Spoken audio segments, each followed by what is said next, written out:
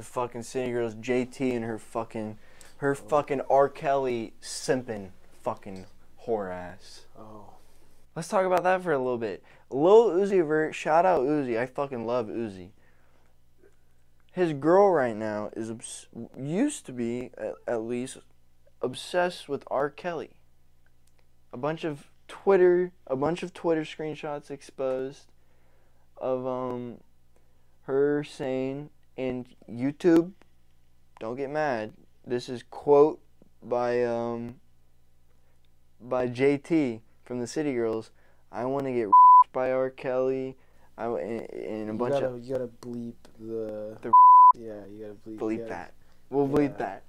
we'll bleep that. But everything, everything that she said was evolving around R. Kelly doing very abusive sexual things to her.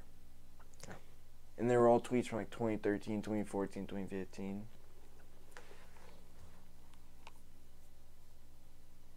This Uzi's girl right there. this dude Uzi, man. she blocked me Yeah. on IG Why did she block you though? she broke up with Uzi over I don't know if this was all publicity, but she broke up with Uzi over a tweet that he had from a long time ago and that's when everyone started exposing all her R. Kelly tweets. So all I did was post all her R. Kelly tweets on my story with some YoungBoy music and I might have called her a bozo. Which the shit that he she said, it's like, come on now. You can't be getting mad at Uzi. If it was, because she did say it on Twitter, if she's getting mad at Uzi over some shit, it didn't even involve her, and she's talking about R. Kelly. It's like, uh,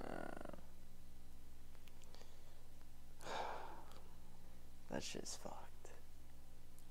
yeah. Um, that Have you seen on my block? on my block. I have seen that show. Bitches be bonkers. Bitches be bonkers. Yep. Bitches be bonkers.